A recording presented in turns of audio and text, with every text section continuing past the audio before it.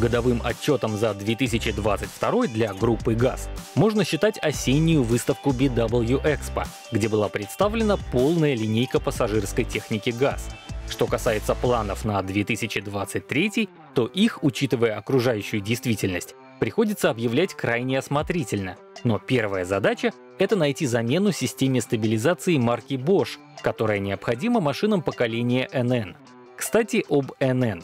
Под самый занавес прошлого года дилеры получили первую партию новых Соболей. В продаже сейчас есть трех- и двухместные фургоны полной массой 2,5 и 3,5 тонны, а также 3,5 тонны семиместный вариант. Впереди запуск чисто пассажирских исполнений, а также работы над бортовыми модификациями.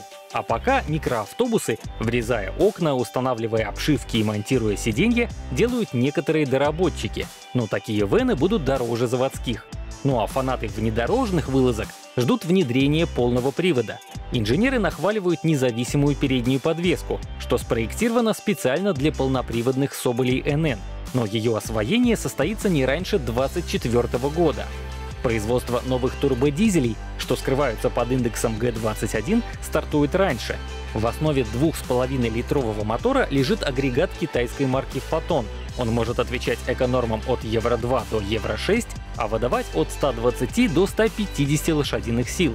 Также ГАЗ готовится расширить гамму выпускаемых грузовиков, но этот пункт программы корпоративного развития газовцы стараются не комментировать вообще. Зато охотно раскрывают перспективы автобусной линейки.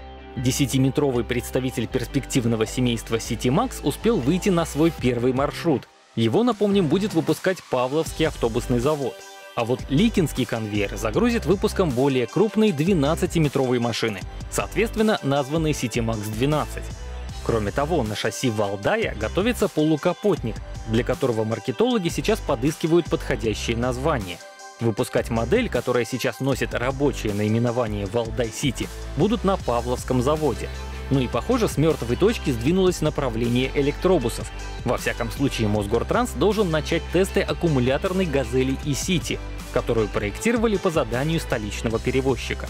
В общем, похоже, что именно группа ГАЗ, над которой угроза санкций висела с 2018 года, оказалась готова ко всевозможным западным ограничениям лучше других. Хотя компании сейчас тоже непросто.